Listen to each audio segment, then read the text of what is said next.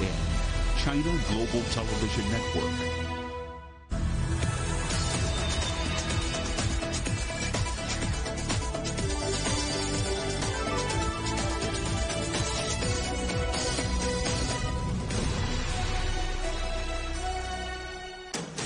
Live from London, this is Global Business.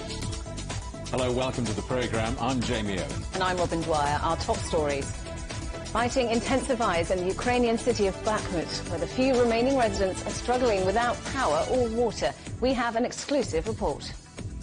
Our other headlines, China's President Xi and Russia's Vladimir Putin hold video talks on trade, geopolitics and the war in Ukraine. China appoints a new foreign minister. Veteran politician Qin Gang is to be the country's top diplomat. Following Italy's lead, Spain is now requiring visitors from China to produce a negative COVID test or be fully vaccinated on arrival. And farewell to the king. Brazil and the world mourns after the death of football superstar Pele.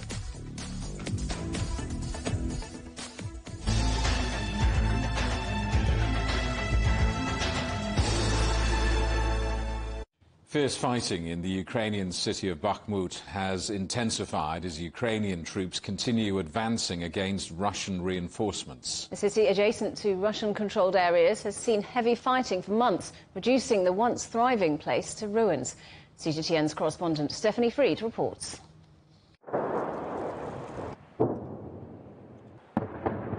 Shelling in Bakhmut is relentless. The estimated 7,000 Ukrainians still living in this burnt out carcass of a city are doing so under extreme conditions.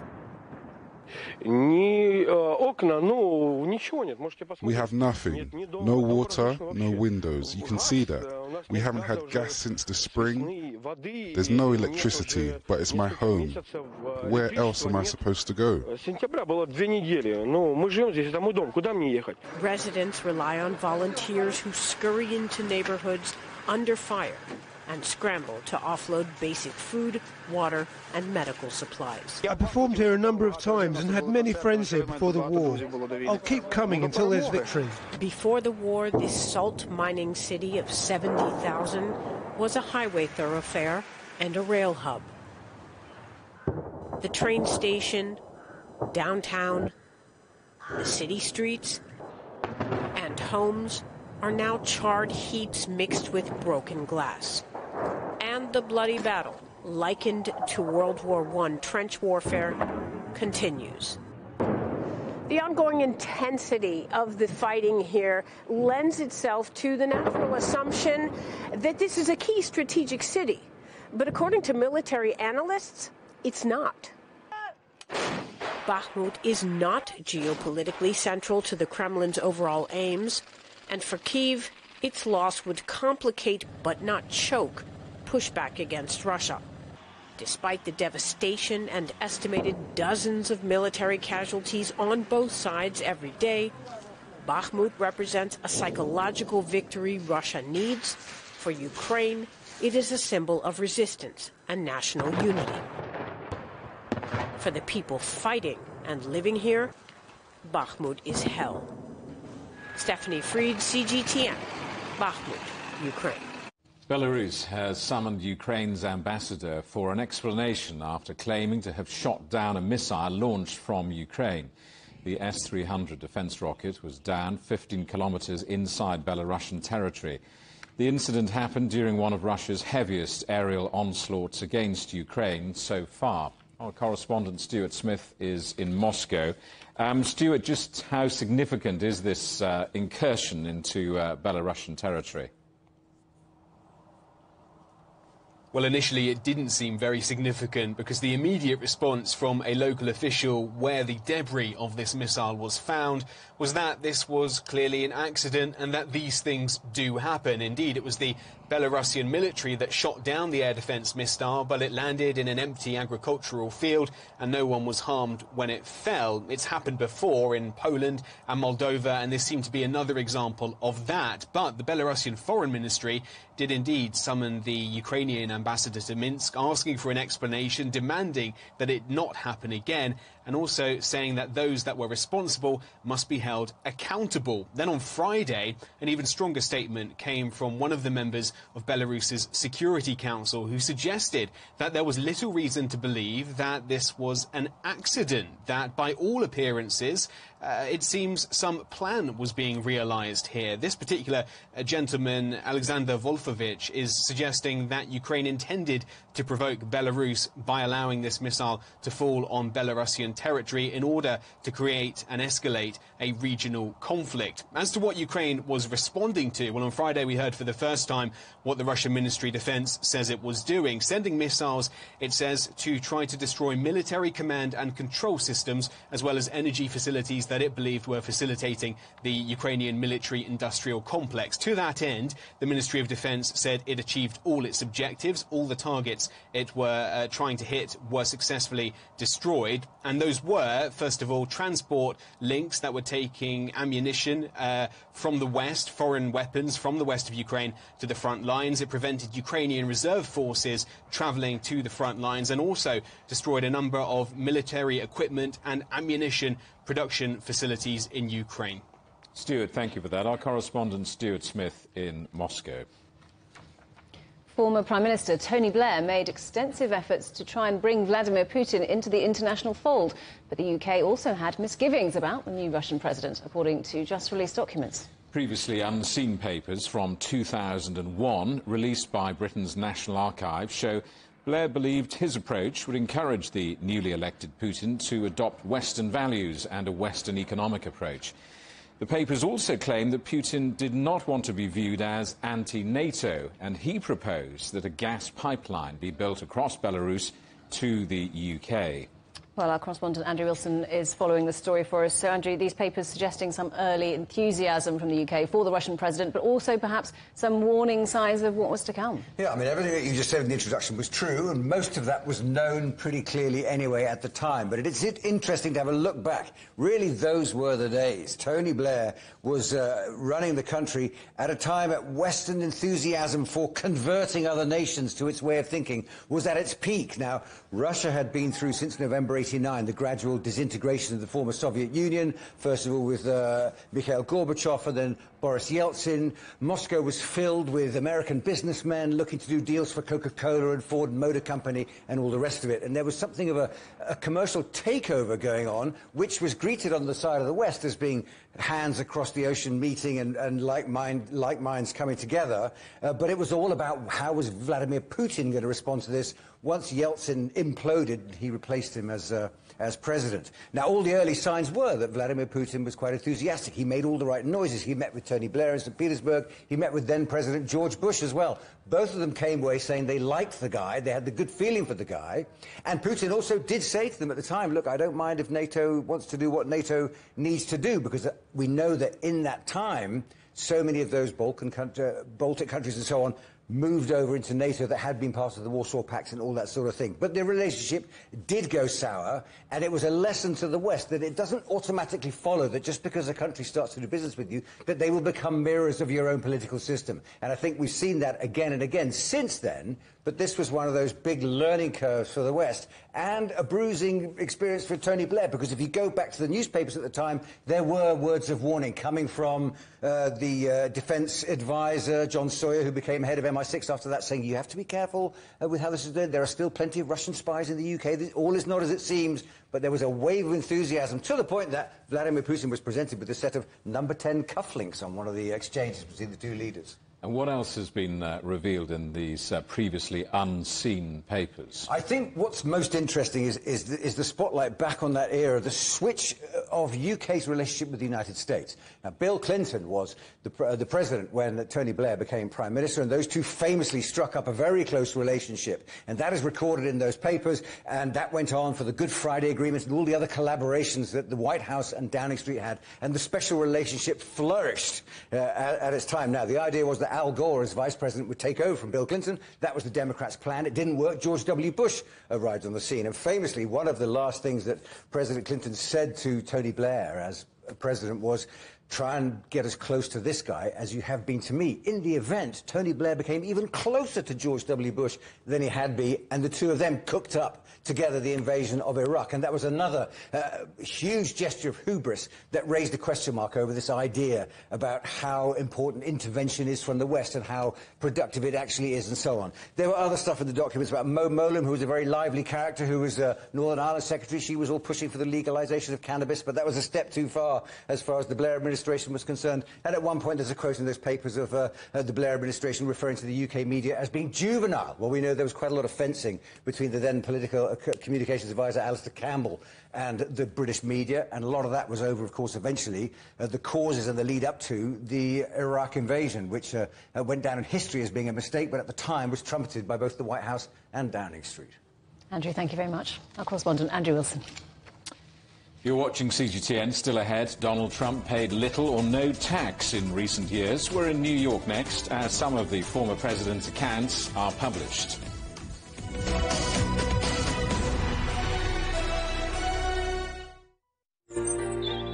Ever wondered what's the difference between a bear and a bull market? Where are the cash cows? And who are the lame ducks? And what exactly are black swans? Grey rhinos? And unicorn companies? Make sense of it all with global business, only on CGTN. There's a new agenda for a new world, accelerating change in almost every part of our lives. It's shifting the norms of how we work, travel, and connect. How we think, interact, and develop. It's a new reality, a new agenda with me, Juliet Mann.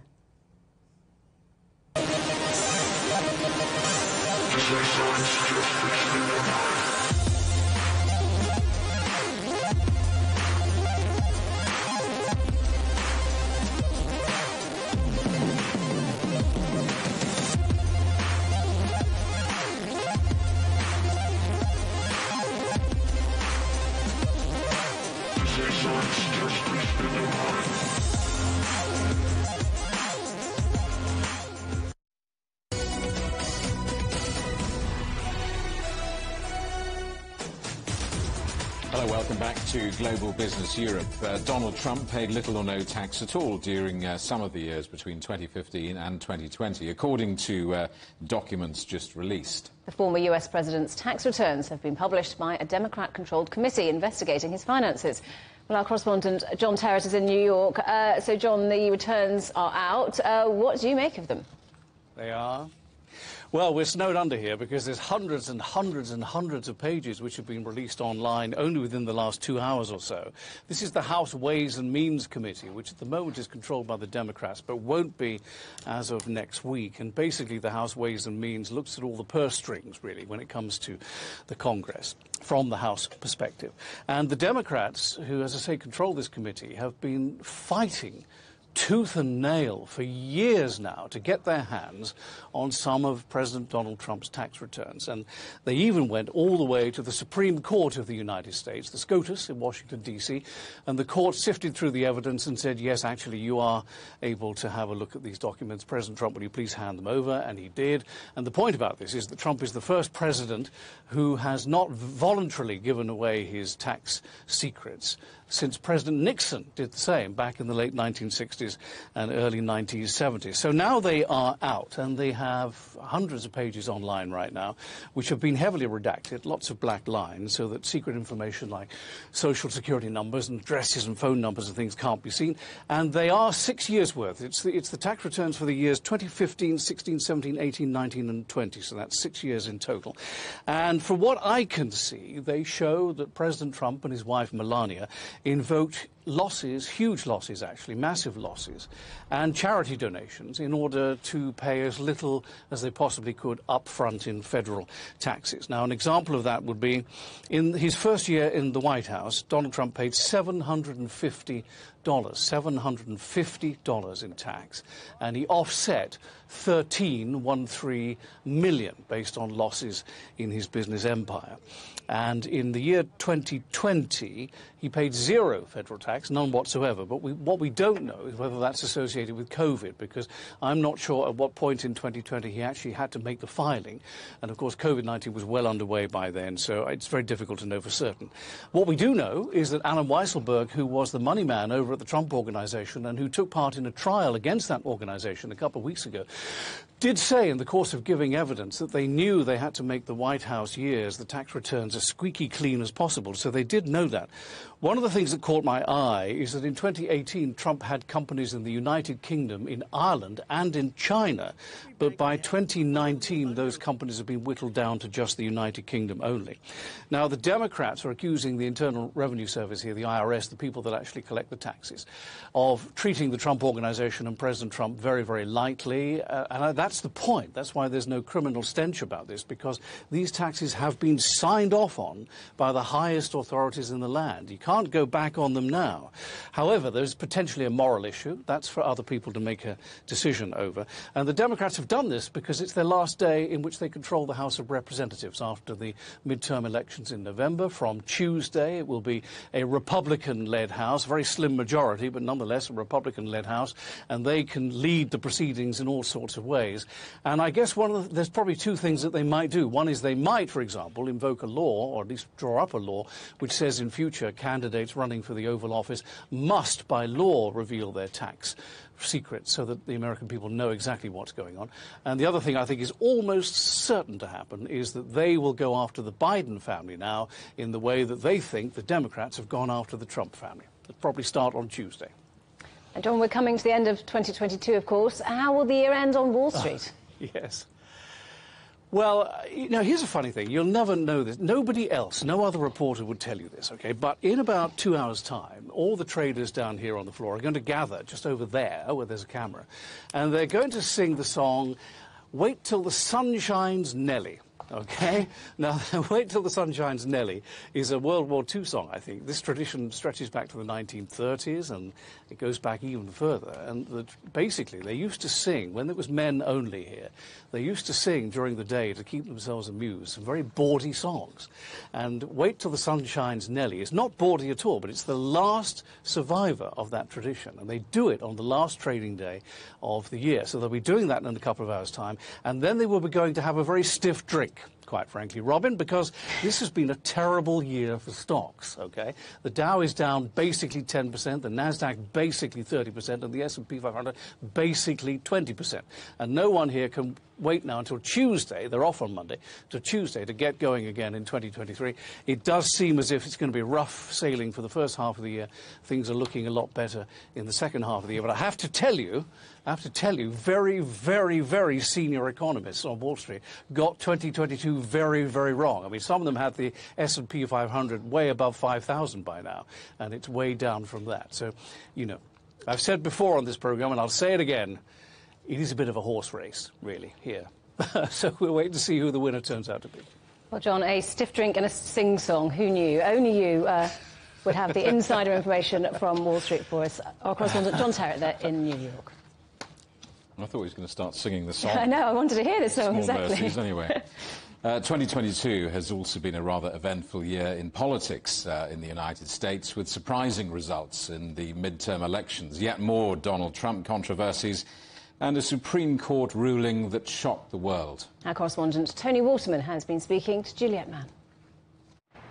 Yeah, I think there was a number of highlights to the 2022 political season, but really the two that stick out are the overturning of Roe v. Wade and the midterm elections, which really went hand in hand. So back in June, the Supreme Court reversed 50 years of precedents. They got rid of a right, a woman's right to an abortion at a federal level, and they kicked that decision making back to the states. But this really unleashed this groundswell of anger, both uh, among Republicans and also among Democrats. Uh, poll after poll has shown that the vast majority of Americans do not want to see abortion access banned in the United States. So this really brought uh, out uh, people from both sides of the aisle. And uh, the reason is because this is really seen as a rights issue here in America. Americans love their personal rights.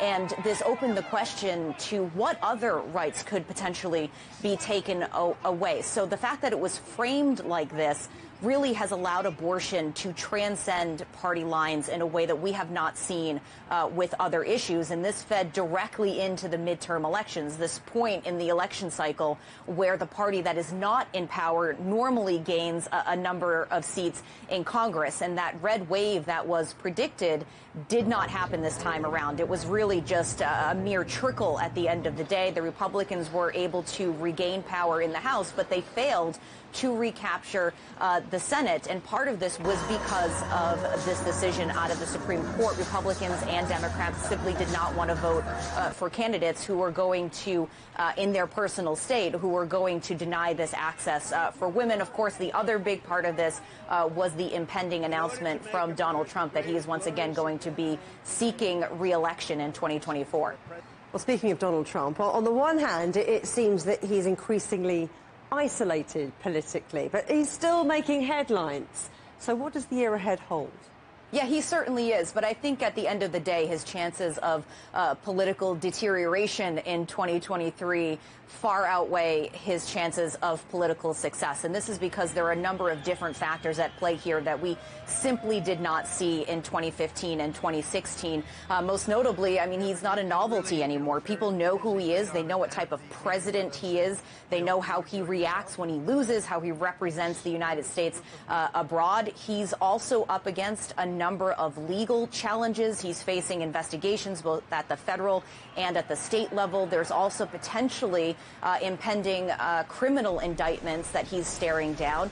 And the last thing is that there is actually a big political challenge that he is facing within his own party. Many of the Republican leadership uh, are now actively working against Donald Trump. They've just become so fed up with his election denialism uh, and the way that he conducts himself that they just don't want him to be representing the party any longer. And the voters are becoming increasingly disillusioned by Donald Trump and enthralled by Republican Governor uh, Ron DeSantis from Florida. There's been a number of polls that have shown that if there were, if Trump and DeSantis were, were facing off in an election uh, right now, that DeSantis would trounce Trump. So even among those likely GOP voters, he seems to be losing uh, a lot of support. But at the end of the day, this is Donald Trump. We cannot count him out, and anything is really possible in 2023.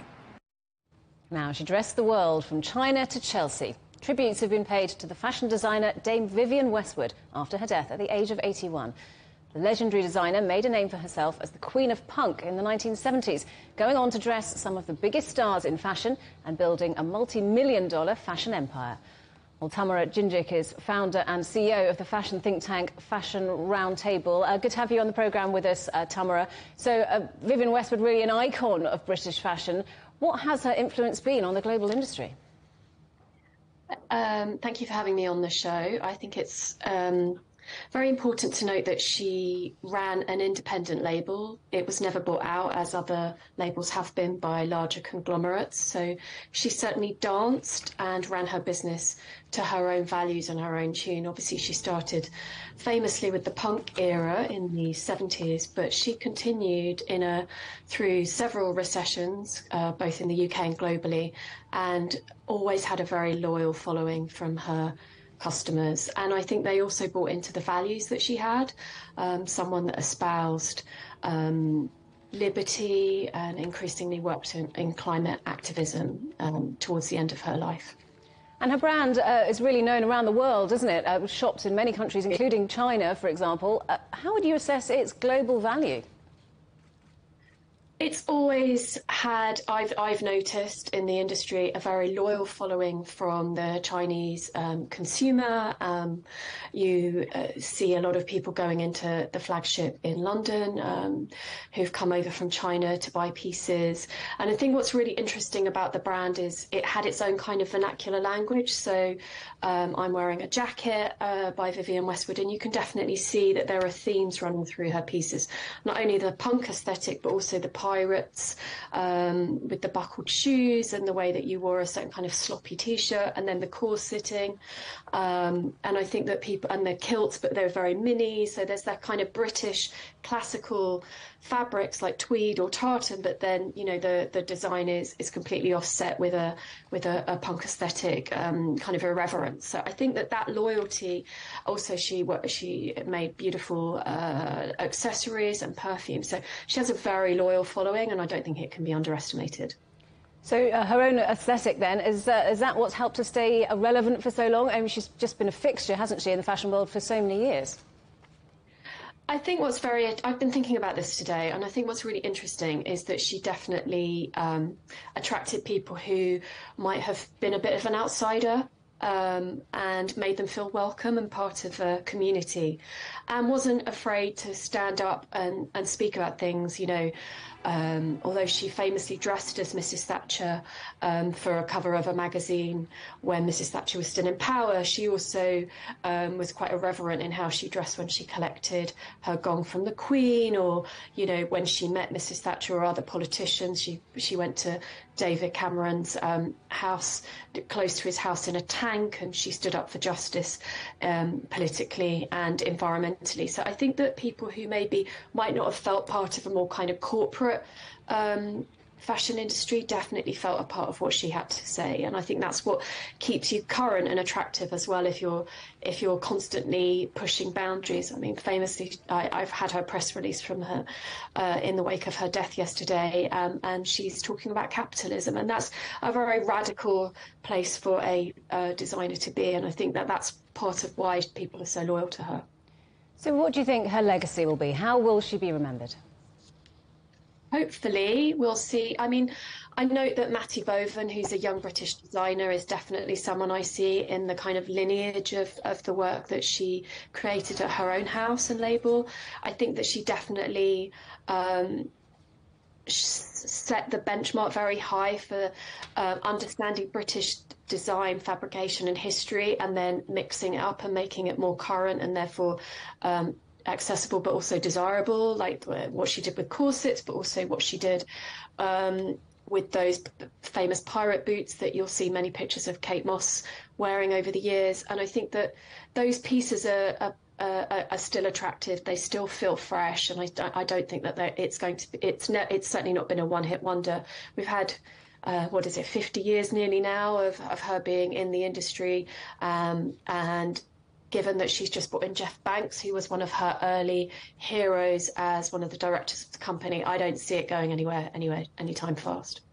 Tamara Cincik from Fashion Roundtable, uh, good to talk to you. Thank you very much for joining us today. Thank you so much. You're watching CGTN. Still ahead, following Italy's lead, Spain imposes restrictions on travellers from China. We'll have the latest on those COVID checks next.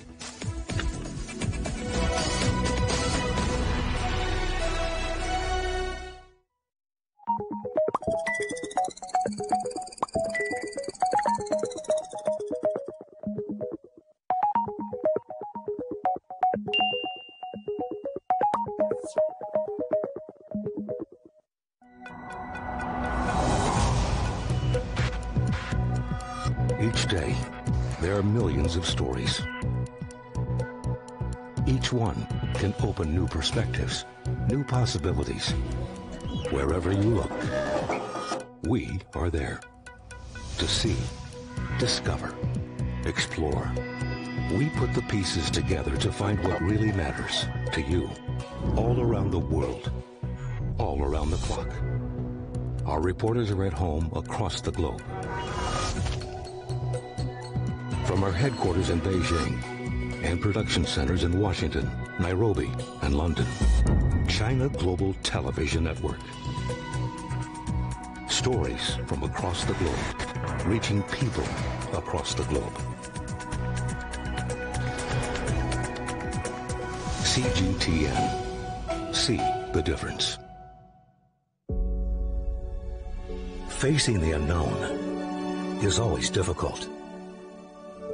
In a world in turmoil, it's easy to lose orientation. But when the storms come, we have to see the possibilities. Reinvent. Find new opportunities. Discover a path forward. CGTN. See the difference. What do we mean when we talk about the difference? The difference is in the detail, in the background, defense ministers from the wider angle and perspective of every story. Wherever the story may be. CGTN. See the difference.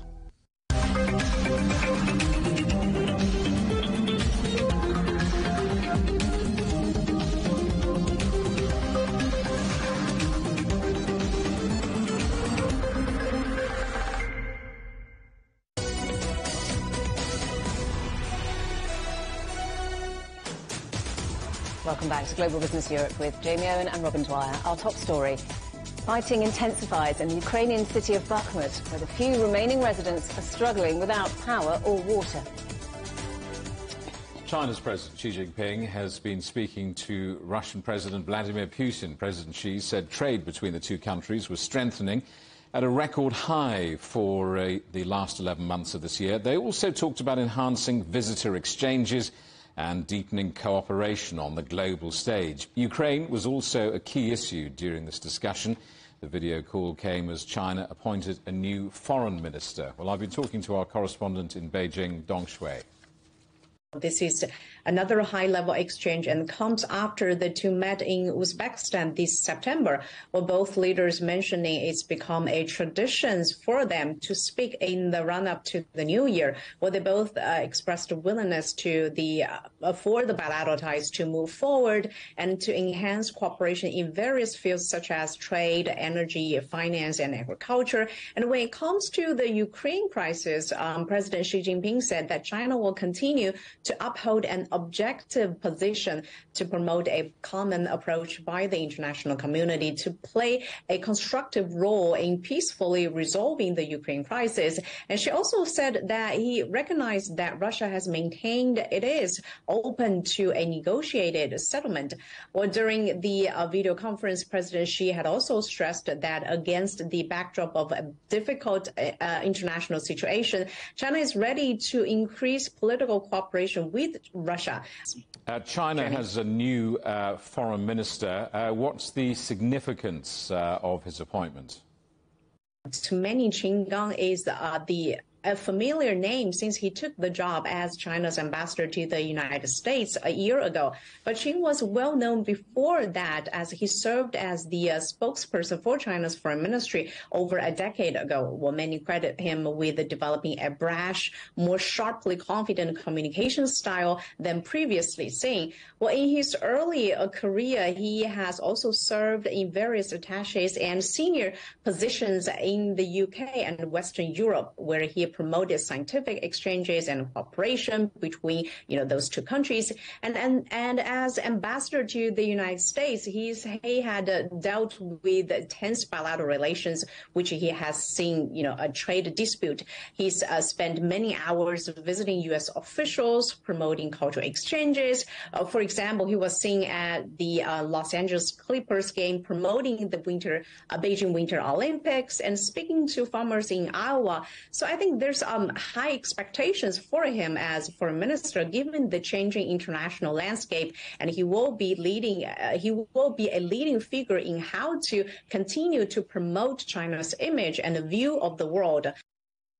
Spain has joined Italy imposing COVID restrictions on travellers arriving from China. This comes as the rest of Europe debates how to handle passengers from China which has lifted its own travel restrictions, allowing people to travel freely after years of lockdowns.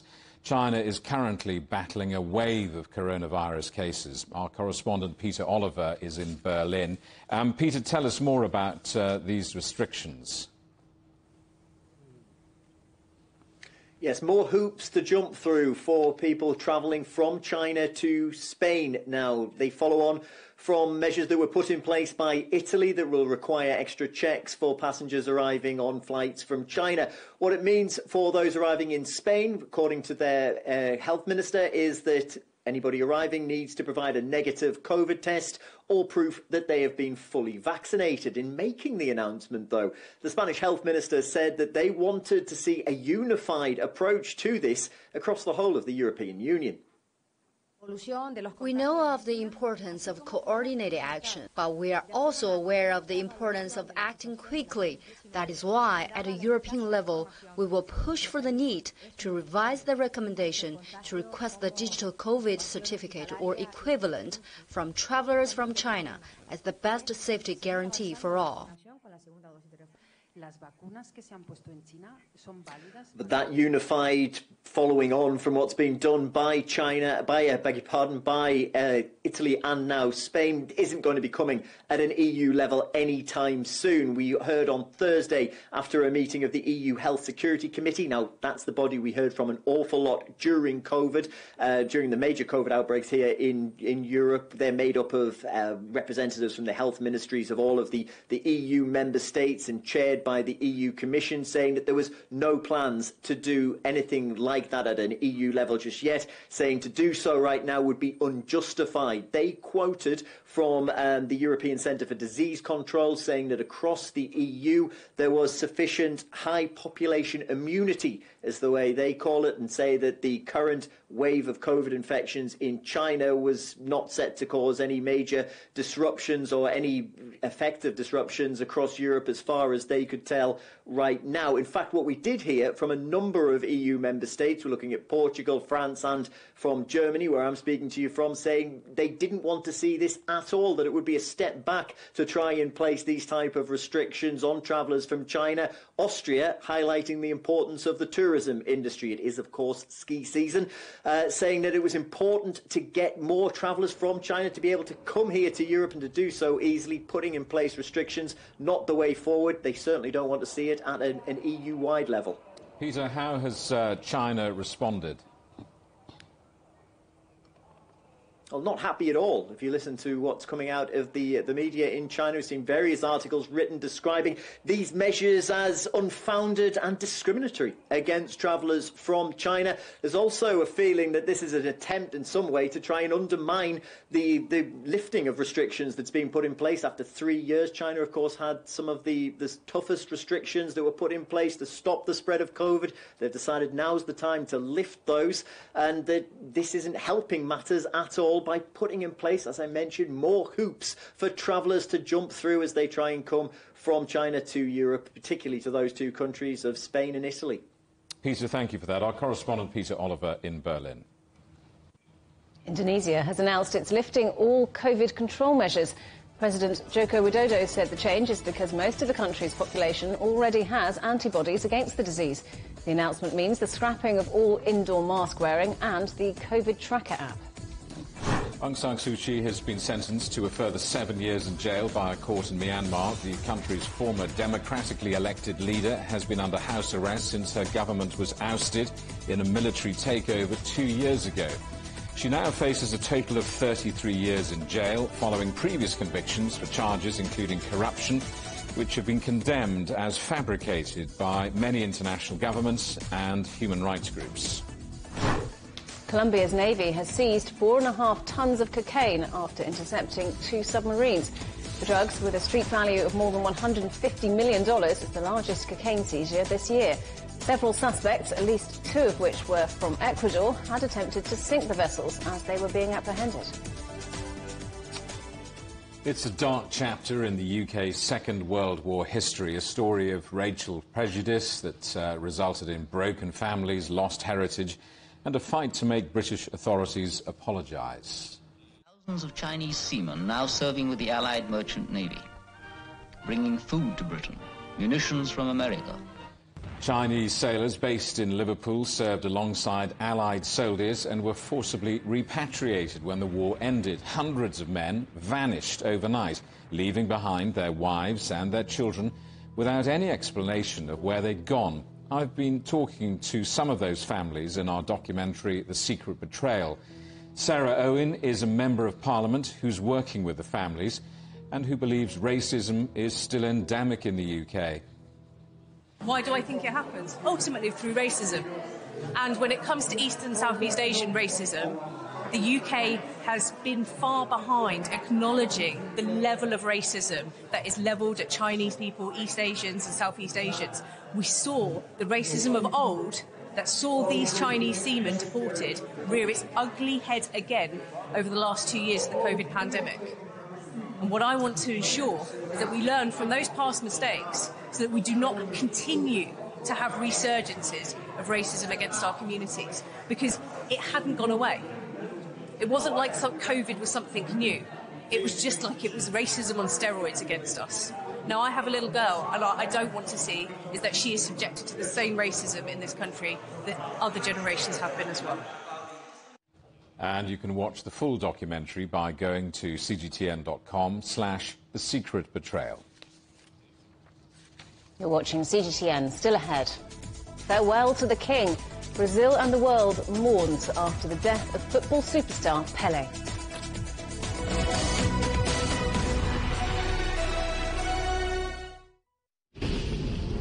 I fell in love with Chinese culture the second I started to experience it.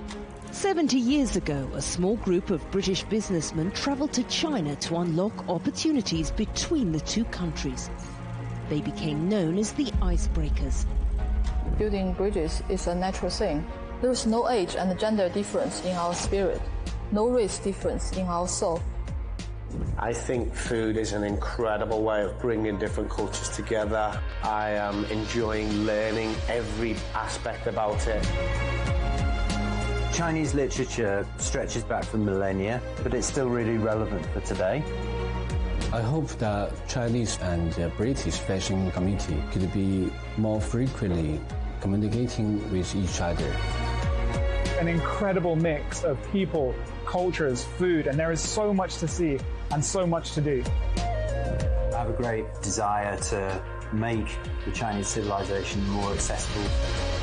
It's about our future, our future generation's future. The craftsmanship, the technique, the material uses, the color uses.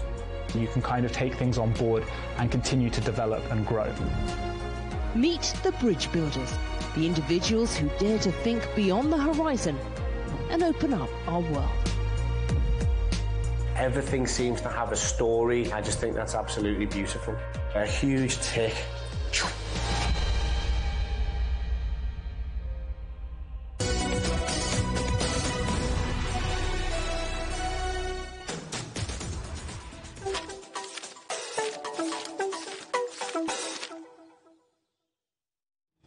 Welcome back to Global Business Europe. Uh, climate change and protecting nature were uh, the subject of two United Nations global summits this year.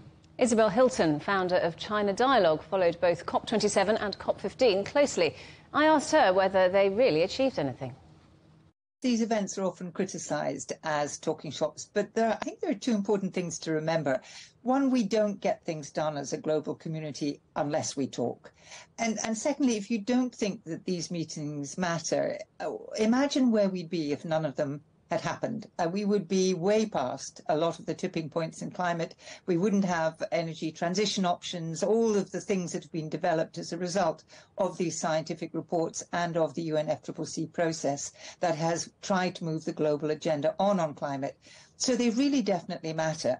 Um, it's a global problem without a global conversation, and the UN is the only place where a global conversation can happen. We really, uh, we really don't have anywhere that that everyone who matters uh, gets to take part. Having said that, yes, of course, there are frustrations and there are conflicting interests. Um, there are countries, especially the fossil fuel big producers, who try to slow things down as much as they can. But they did do one really important thing, which was finally, after years of discussion, set up a loss and damage fund for vulnerable countries who are suffering the effects of climate change, and that will, I hope, help them to make the right choices about their own development. The other COP was, of course, COP15. This has been a very unlucky COP. Uh, it's chaired by China, not the reason for its lack of luck, but it's been unlucky in the sense that it was very much hit by uh, the, the global pandemic, so the meetings that should have happened, the travel that should have happened, the diplomatic preparation all got very difficult. And it, it's a really important one because it's setting action for the next decade. Action for the previous decade didn't work. All the targets were missed. So what we were looking for in this one was a, a, deal, which which we got. But the question will be, will it be implemented? So all eyes were on China for the deal, and I guess a lot of eyes will still be on China uh, to see if this is a robust enough mechanism. In 2022, we saw some extreme temperatures, record temperatures in some places, extreme weather. What about next year? What's the outlook? Well, I'm afraid the outlook is that this will continue. Uh, you know, we have set climate change in motion, and uh, it will continue. And that's one of the frustrating things about dealing with climate change is that we're always talking about the future, where the present is really catching up with us. So what we're looking for, of course, is that emissions will peak, and uh, some countries have peaked their emissions some time ago. Some countries will uh, hopefully peak their emissions soon, China being the biggest emitter and certainly the one that everyone will be looking for for as early a peak as possible. It's committed to well before 2030, and the earlier that comes, the better it is for everybody. But the climate impacts that we've set in train, I'm afraid those will continue. You don't just turn them off with a magic switch. And there are things, for example, um, ice melt, which is hugely important in the global system. It affects the weather, it affects the oceans, it, it affects everything. You can melt ice very quickly, but a kind of refreeze at a planetary level, that could take millennia. So we will have to do a lot of adjustment and we will have to be very realistic about what is facing us with the amount of warming we have now. At the same time, to avoid worse effects, we have to we have to up the ambition and let it all become far more far more urgent, really. Tributes are being paid around the world to the Brazilian football superstar Pelé, who's died at the age of 82. He died after a long battle with cancer. Nicknamed the King, Pelé was, reg was regarded as one of the greatest footballers of all time and is the only player to have won the World Cup three times. Brazil has declared three days of national mourning.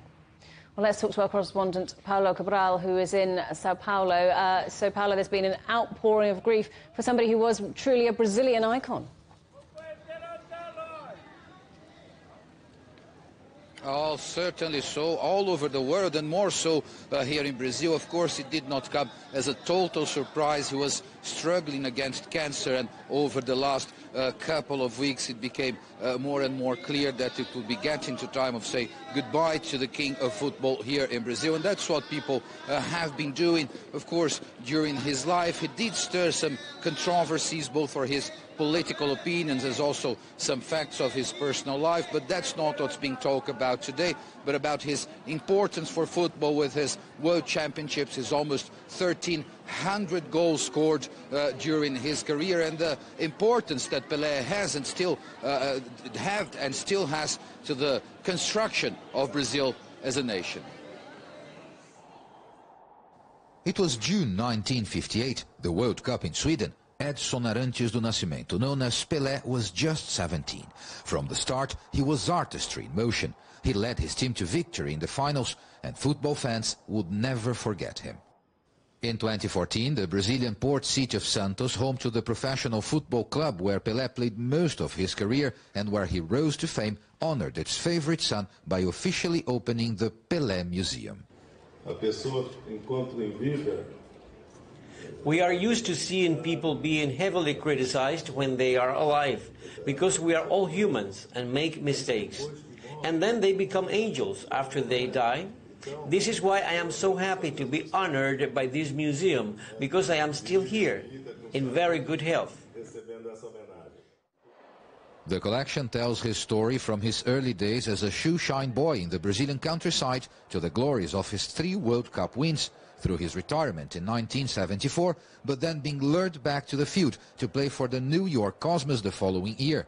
His final game was played in 1977, when he led his team to the league championship.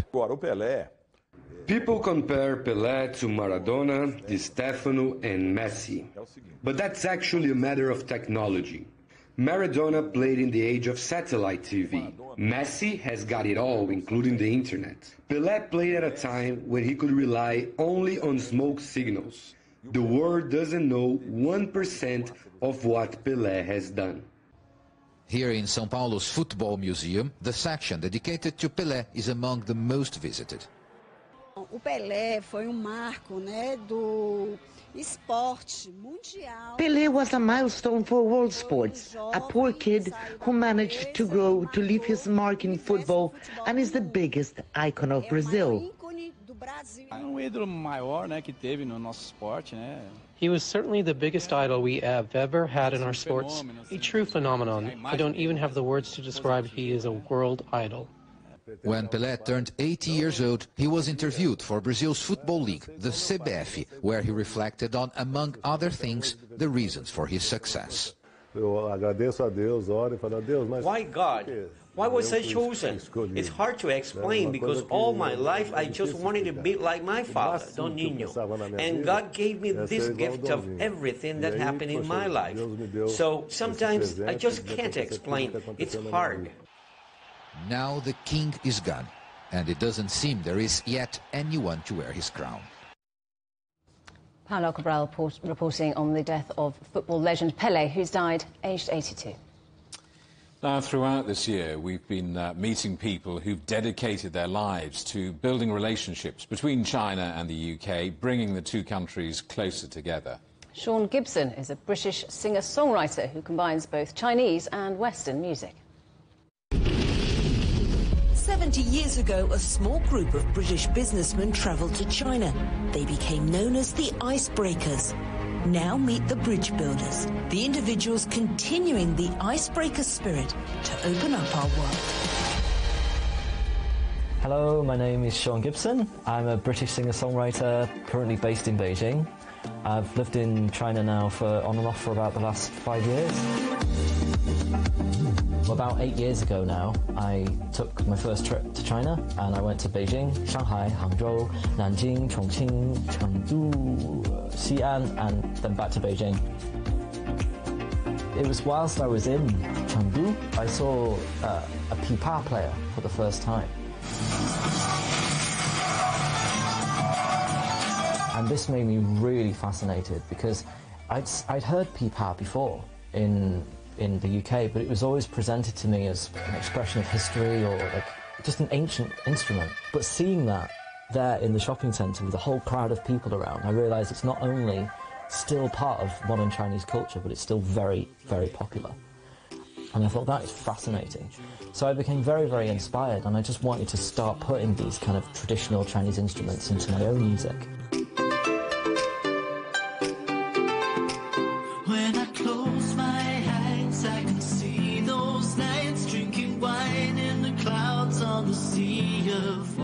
My music career in China, well, actually, kind of started off in the UK.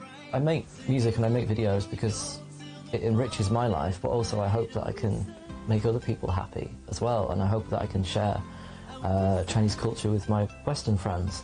Um, and things are going really well. You know, I'm getting invited to do more TV shows now and interviews like this, so more people are kind of getting to know me which is really exciting. Walking down this busy street where the lights turn way down low. I sing in Chinese and English because at the moment most of my followers are Chinese, so it makes sense to sing in Chinese, but also it gives me a deeper understanding of the culture as well.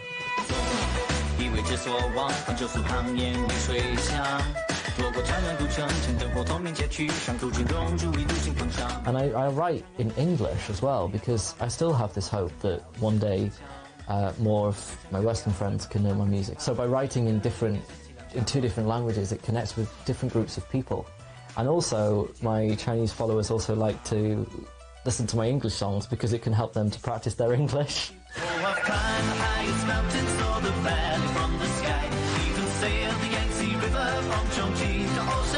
The first time I came here, I did have culture shock, but it wasn't the culture shock in the way that you'd kind of expect. I expected China to be totally different to the UK, like totally different.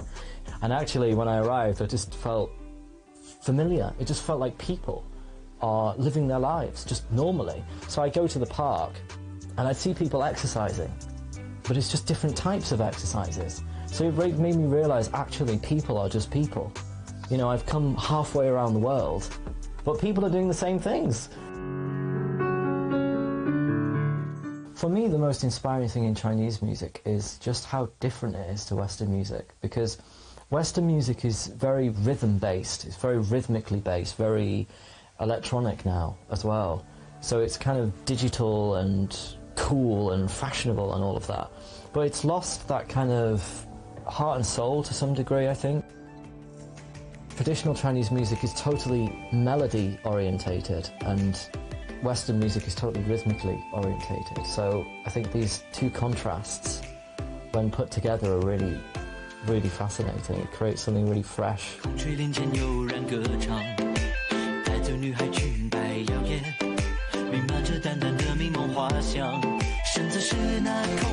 I'm really big into this whole Zhongguo Feng kind of Chinese style inspired music because I think that to me sounds really fresh and, and new.